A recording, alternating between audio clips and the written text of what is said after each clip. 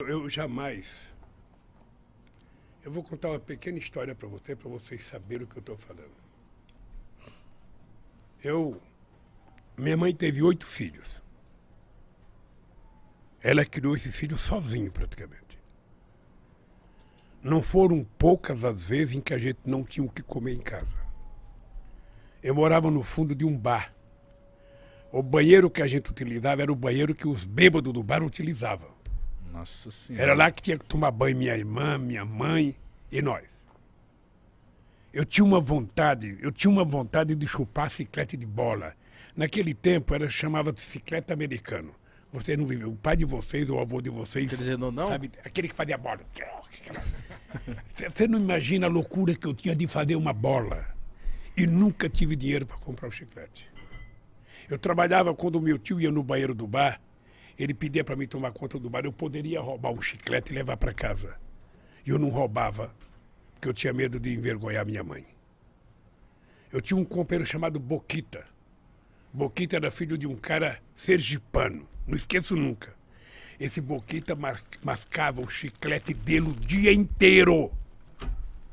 Quando esse Boquita ia jogar fora, eu pedia para mim. Nossa senhora. Pedia. Não tenho vergonha de dizer isso, não. Pedia o chiclete borrachudo, sabe? Levava para casa, lavava ele, colocava um pouco de açúcar Suco. Botava no e congelador? chupava um pouco. tá? Ah, eu tinha vontade de comer uma maçã, naquele tempo tinha umas maçãs argentinas, eu tinha vontade de roubar uma maçã. Roubar e sair correndo de comer. Eu não roubava com medo da minha mãe. Sabe? Essa foi a educação que eu recebi da dona Lindu. Aí você não tem noção. Eu jamais imaginei na minha vida que eu ia sofrer o que eu sofri de ataque de corrupção com essa gente, com esses bandidos sabendo que eu não tinha feito. Então, eu poderia ter saído do Brasil, eu poderia ter ido para outro país, eu poderia ter ido para uma embaixada, mas eu tomei a decisão de que eu tinha que ir para para Curitiba, eu tinha que ir para a Polícia Federal. Eu precisava provar que o Moro era mentiroso. Eu precisava provar que a Força Tarefa de Curitiba era uma quadrilha. E se eu fugisse e aparecer uma fotografia minha ou fugitivo? E eu não tenho mais idade para isso, cara. Eu tenho um bisneta, eu tinha que honrar a dona Lindu. Então, graças a Deus, eu provei. Tô até hoje, tô até hoje perguntando para esse Moro, diga, diga, tá, o que que eu roubei? A sentença que ele deu para mim, sabe qual foi o crime que eu cometi? Qual? O crime é o fato indeterminado. Eu fui condenado por um fato indeterminado. Que esse sem vergonha não teve coragem de dizer. Ele poderia ter dito. Sabe?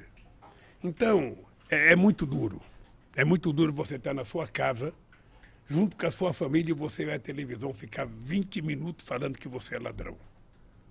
Falando que você roubou. Sem mostrar absolutamente nada. Então, isso foi muito duro. Eu jamais imaginei passar isso na vida, jamais. Essa é uma marca profunda que eu vou levar na minha vida, sabe? E eu ainda, eu ainda vou pensar bem, mas em algum momento eu vou processar, porque nem que for um, um, um tataraneto meu, quinquaraneto, sextataraneto meu, um dia vai ganhar um processo contra essa sacanagem que fizeram comigo. Você ficou quanto tempo nesse, nesse processo? Eu fiquei preso 580 dias. Mas o processo foi, foi quatro anos de denúncia, sabe? E aí eu sou agradecido àquele pessoal que fez a vigília para mim em Curitiba, aquelas pessoas que ficaram lá embaixo de chuva, embaixo de sol, sabe? Eles ca- cantavam todo dia de manhã para mim, gritavam bom dia, presidente, boa tarde, presidente, boa noite, boa noite, presidente, durante 580 dias. Então é uma coisa que marcou a minha vida. Eu saí da cadeia um outro homem, saí um outro homem, tive a graça de Deus de sair, sabe, para Cajacajanja, sabe? Ela, ela, ela morava em Curitiba, ela mandava uma comidinha para mim toda noite, sabe? Ela te conquistou pela comida. Nordestino, né? Conquistou mano? pela barriga. É, não, não, e- ela, ela, é, ela não deixava eu mandar minha roupa para lavar fora, ela queria ela levar para casa para lavar. Aí quando eu saí, eu falei, ah, Não tem outro jeito, eu vou casar com a bichinha. Mas o que que passava na sua cabeça lá dentro? O que que você aprendeu? O que que você... Você falou que você mu- virou outro... Olha, O que que passava ali dentro? Ô, ô, ô, Mitico, é engraçado porque o sofrimento, às vezes, ele te ensina a ficar maior, mais generoso. Ah, eu, eu não podia ficar com ódio dentro da cadeia, porque senão eu tinha que ficar dando cabeçada na parede. Então eu comecei a ler muito, sobretudo sobre a escravidão, para conhecer um pouco melhor o Brasil.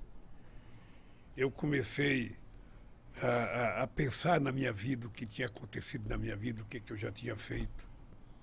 Ah, e a solidariedade que eu recebi era muito grande, gente.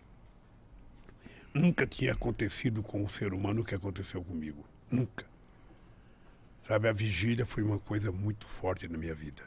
Muito forte. Então, eu, eu saí generoso, eu saí, eu saí pensando em casar com a Janja e, e sair da política, sabe? Vou viver minha vida.